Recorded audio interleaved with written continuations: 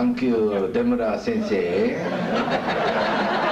For teach 25 years, me talk this way. Ladies and gentlemen, Mr. Fumio Demura. There's so many people in the martial arts and in the movie business who really never studied the martial arts, and all they do is talk about all the people they studied with and all the things they did when they really did nothing. Demura Sensei is the real thing.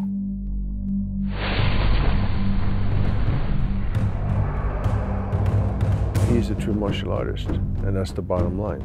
And there are not many of those guys still around. The reason for my success as a karate fighter is really due with Mr. Demura, and I love him very much. And he was one of the most key people who brought karate to the United States and spread karate worldwide from the United States. Pat Morita fashioned Mr. Miyagi off of Demura Sensei.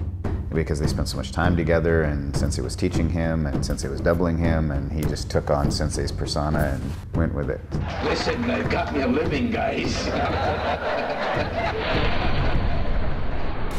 Bruce did not use weapons a lot. He used props, but the nunchuck he saw as something very, very dynamic. And Sensei Demura was the founder, if you will, of the, the nunchuck methods. And he had a book on them. So Bruce studied the book, he talked to Sensei, and uh, that's how he learned to use the nunchuck.